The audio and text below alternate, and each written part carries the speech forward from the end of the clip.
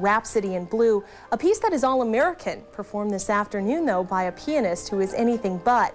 Zhipei Liu. Today, though, he was tinkling the ivories, demonstrating one of his country's newest loves, jazz. Understand or know more uh, about jazz. The student reaction has been fabulous. The, the band plays very well for him. He's inspiring as a teacher and conductor and as a musician. Zhipei also took a turn with the baton today, directing Gustav Holst's Mars. Still ahead, it was a